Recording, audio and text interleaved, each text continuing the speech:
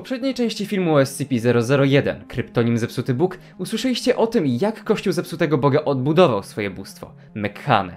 Jednak coś poszło nie tak, a ich Bóg zaczął siać chaos, niszcząc wszystko dookoła. Ale dlaczego? Co sprawiło, że ich plan się nie powiódł? A także, co wydarzyło się w roku 1943, co sprawiło, że Zepsuty Bóg został pokonany? Ja jestem Pio, a dziś poznacie koniec historii o SCP-001, Zepsutym Bogu.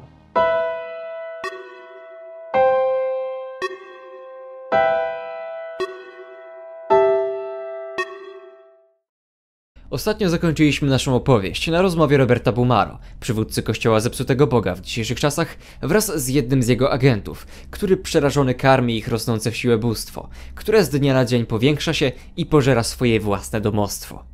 Wiemy, że części odbudowanego Mekhane to głównie metal i metalowe obiekty anomalne, które były uznawane za dary Mekhane, części jego zepsutego ciała. Jednak najważniejsza z tych części, jego serce, było wadliwe, bo nie było prawdziwym sercem Mekhane, a jedynie podróbą zrobioną przez Bumaro, żeby na siłę odbudować ich boga. Następna część raportu, do której zmierzamy, zaczyna się przerażającym zdjęciem. 160 milionów kilometrów kwadratowych. Od tak zniknęło przez SCP-001. Co do cholery wydarzyło się w Meksyku? Miejmy nadzieję, że przesłuchanie dowódcy jednego z oddziałów fundacji z 1943 roku nam pomoże. Opowiada nam on, że wiedzieli o aktywności kościoła w zachodnim Meksyku, jednak, tak jak przewidział Bumaro, na chwilę obecną olali temat, skupiając się na szalejącej w Europie III Rzeszy. Jednakże dzięki szczęśliwemu trafu, pociąg dowódcy Petersona, pracującego dla fundacji, nie dojechał tam gdzie trzeba i w październiku 1942 roku wylądował właśnie w La Paz w Meksyku. Tymczasem do miasta, prócz pomylonych żołnierzy, przyjeżdżali uchodźcy z innych części Meksyku, tłumacząc, że ich wioski zostały dosłownie przemielone przez jakąś ogromną maszynę. Nie brano tego za bardzo na poważnie. Ich zmartwieniem było raczej to, czemu pociąg nie może dalej ruszyć i co blokuje tory. Wysłali więc ekipę agentów na rekonesans wzdłuż torów. Przez trzy dni nie dali o sobie znaku życia, jednak po piątym dniu jeden z mężczyzn powrócił. Jako jedyny przeżył. Widać było po nim, że odszedł od zmysłów, mówiąc tylko o pożeraczu światów i o tym, jak przemielił jego przyjaciół na miazgę i w tym momencie rusza w ich stronę. Próbowali to zabić, ale już wtedy zrozumieli, że tej rzeczy nie da się zabić, tego czegoś nie da się zabezpieczyć. A jeśli agent fundacji mówi ci, że czegoś nie da się zabezpieczyć, to wiedz, że jest naprawdę źle. Jak góra poruszających się części zaciemniająca niebo dymem wydobywającym się z jej wnętrza, SCP-001 wyżarło w Meksyku wielką dziurę, chłonąc wszystko i rozrastając się. Agenci byli przeszkoleni w razie wystąpienia scenariuszy klasy XK, ale to przekraczało możliwości jakiegokolwiek pracownika fundacji. To była kwestia czasu, nim mechaniczne bóstwo ich zabije. W listach z tamtego okresu personel fundacji pisze, że niebo jest całe czarne od wielu tygodni, dymu jest coraz więcej i trudno się przez niego oddycha. Niedoinformowani agenci nie wiedzą co się tam dzieje i myślą, że przyszli tam tylko naprawiać tory. Pewnego dnia do miasta przyszedł mężczyzna z wyploną połową twarzy. Był już praktycznie martwy i nie reagował na nikogo. Upadł na środku miasta, a gdy przeniesiono go do szpitala i w końcu się obudził, przejawiał oznaki szaleństwa, rzucał się i krzyczał o machinie o rozmiarach góry, która przemawia do ciebie w twojej głowie. Mówił o ludziach skaczących z dachów i wybiegających do jej wnętrza, chcących się poświęcić dla wielkiego Boga. Mężczyzna umarł, wciąż majacząc o potworze, któremu nie zdołał uciec. Góry dosłownie zapadały się na oczach agentów, a gigantyczna sylwetka w oparach dymu sunęła w ich stronę. Nie szła, nie kroczyła, ale sunęła naprzód jak wielka mechaniczna gąsienica. W jej wnętrzu widać było ogień, jak pieca samego piekła. Dosłownie przeżarła się przez góry i parła dalej. Wyciągnęła dłoń, chwyciła całą wioskę i wsadziła ją do swojej gęby. Dało się ją słyszeć z daleka. Nie tylko warkot silników i szczęk metalu, ale dało się słyszeć jej głos w twojej głowie. Ta maszyna. Ona krzyczała. Ostatni list to krótka notatka po całym wydarzeniu, skierowana do Centrum Zarządzania, ośrodka 001. Tymczasowy ośrodek utracony. La Paz w ruinie. Ogromne zmiany geologiczne. XK uniknięte. Wnioskuje o wsparcie środkami amnezyjnymi. Więc ostatecznie udało się. SCP-001 został zniszczony. Ale jak? Wśród agentów fundacji jest taka historyjka. Jeden pyta drugiego: Nie wiesz? Przecież GOC zabili Boga. Wtedy żółtodzioby odpierają, że to nieprawda, bo Bóg SCP-343 jest gdzieś tam w ośrodku XIX. Ale to tylko manipulator rzeczywistości, któremu bzdurało się, że jest chrześcijańskim Bogiem. Weterani uśmiechają się pod nosem, ale nic nie powiedzą, bo wiedzą, co się wydarzyło w 1943. Fundacja nie mogła zrobić nic, tylko gapić się na koniec świata. A tymczasem nowo formująca się globalna koalicja okultystyczna ruszyła dupę w troki i własnoręcznie uratowała ludzkość. Użyli do tego SCP-2399. SCP-2399 jest kosmiczną bronią, która aktualnie orbituje wokół Jowisza, a uzbrojona jest w działo antymaterii, a także anomalne zbrojenie, którego nie potrafimy jeszcze zrozumieć.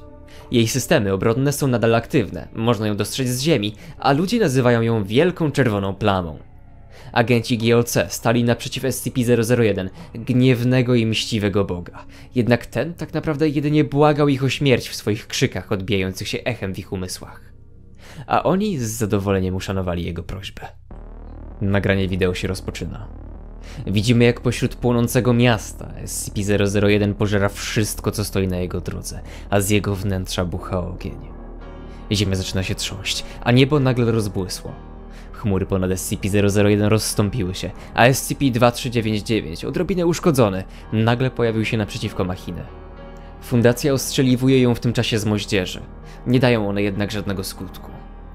SCP-2399 zaczyna się świecić na niebiesko. Jasny strumień światła wybucha z broni i trafia SCP-001. Ten reaguje agresywnie i gwałtownie sięga w stronę broni, po czym następuje eksplozja. Ogromna wiązka energii przedziera się przez mechanicznego boga i żłobi wielką dziurę w kontynencie. To koniec. SCP-001 został zniszczony ponownie, a jego części zostały rozrzucone dookoła. Teoretycznie to koniec historii, spektakularny wybuch i tyle. Ale jest w tym wszystkim drugie dno, które sprawia, że śmierć zepsutego Boga jest o wiele bardziej mroczna niż powinna. Fragment o zniszczeniu Mekhane odkrywa nam wiele tajemnic i kłamstw z innych raportów. Po pierwsze, raport o SCP-2399 kłamie. Według raportu broń nigdy nie była aktywowana i nie znalazła się nigdy na Ziemi. Jednak jak widzimy, SCP-2399 była na Ziemi. Jej systemy broni były aktywowane i były użyte do zniszczenia potwornego boga. Po drugie, serce zepsutego boga nie jest prawdziwym sercem Mekhane, ale to już wiemy, więc kolejnym kłamstwem jest to, że nie zostało ono nawet stworzone przez Roberta Bumaro. Tak jak wcześniej wspominałem, nie było ono czymś, co przypominało Mekhane. Nie było logiczne i sprawiło, że SCP-001 stał się potworem. Więc skąd wzięła się ta maszyna? W następnym fragmencie dokumentu wszystko się wyjaśnia. I bardzo dobrze, że użyłem słowa maszyna, ponieważ serce SCP-001 to SCP-882, o którym mówiłem we wcześniejszym odcinku i kazałem wam o nim pamiętać. Skąd o tym wiemy? Po tym, jak kosmiczna broń uderzyła w SCP-001 i zniszczyła go, przy okazji niszcząc połowę Meksyku i wydrążając półwysep kalifornijski, a potem została przeteleportowana z powrotem na orbitę Jowisza, wszystkie anomalne kawałki SCP-001 trafiły w ręce fundacji. Bardzo łatwo było rozpoznać, które są prawdziwymi anomaliami, a które podróbami, albo po prostu częściami samochodów i innych urządzeń. Prawdziwe artefakty zepsutego Boga nie miały oznaczeń producenta. Świrowały nadal działające i przejawiające anomalne zdolności, więc łatwo było je zaklasyfikować i przechowywać w fundacji. Ale serce SCP-001, w przeciwieństwie do reszty, miało oznaczenie. Bardzo wyraźne oznaczenie mówiące własność fabryki. Serce SCP-001, albo jak zostało później oznaczone SCP-882, maszyna, zostało stworzone przez fabrykę czyli tajemniczą organizację w uniwersum fundacji, używając ofiar z ludzi, wszystkiego co przeciwne mekhanitom, a bardziej zbliżone do sarkistów. SCP-882 zostawiono tam, gdzie SCP-001 uległ zniszczeniu, a więc na dnie Zatoki Kalifornijskiej, a fundacja nigdy nie pozwoli, by jakakolwiek część zepsutego Boga znów trafiła w jego pobliże. A skąd SCP-2399 wzięło się nagle na Ziemi? Pamiętacie naszą ukochaną panią z łańcuchami zamiast włosów i to, co ukradła od agenta UJU w 2007 roku?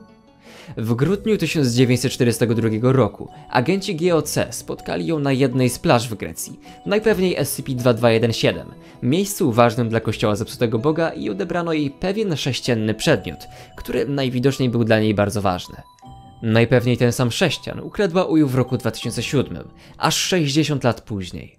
Moja teoria mówi, że czymkolwiek ten przedmiot jest, to on przeniósł SCP-2399 z Jowisza aż tutaj. I to dzięki temu, że koalicja znalazła tę kobietę na plaży. SCP-001 został zniszczony. Kto wie, może łańcuchowłosa była o krok od zaprzepaszczenia ostatniej nadziei ludzkości.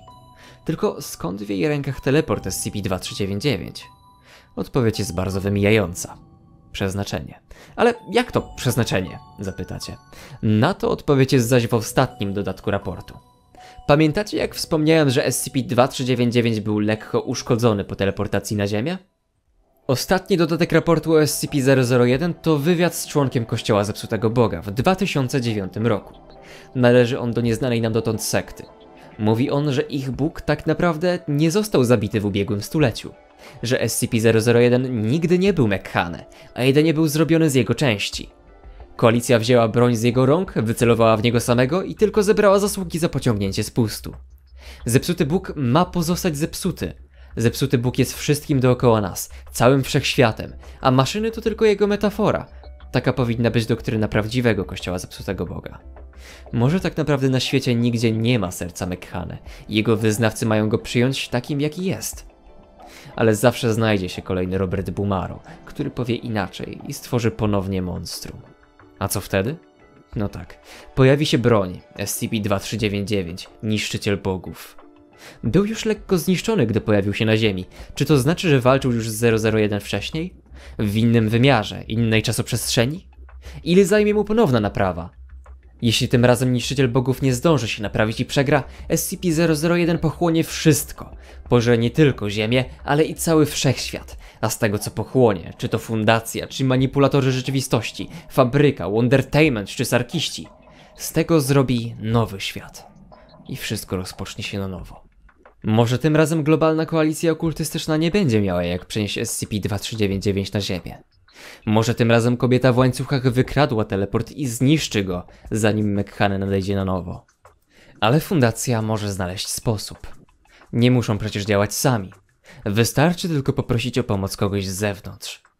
Rozproszeni jesteśmy zepsuci, ale razem jesteśmy Bogiem. I tak oto kończy się historia SCP-001, zepsutego Boga. Fundacja musiała przykryć całą tę akcję, pozamieniać wszystkim na świecie wspomnienia, używając eksperymentalnych środków amnezyjnych, rozpylonych nad kontynentami. A co najtrudniejsze, trzeba było pozamieniać mapy, żeby wmówić wszystkim, że połowa Meksyku tak naprawdę nigdy nie istniała. Jak zwykle jednak fundacja podnosi się i pokazuje, że warto iść naprzód i warto walczyć. A jeśli moglibyście być tak mili i pokazać mi, że warto robić te filmy, to zostawcie pozytywną ocenę pod tym filmem i napiszcie w komentarzu, co uważacie o SCP-001 w wydaniu DJ Cactusa i Twisted Gears. Oczywiście, jeśli jesteś nowy na tym kanale, to zachęcam Cię do subskrypcji i zostawienia dzwonka, a nie ominącie kolejne historie z pokręconego świata Fundacji SCP. To był SCP-001, kryptonim Zepsuty Bóg, ja jestem Pio, do zobaczenia kiedyś.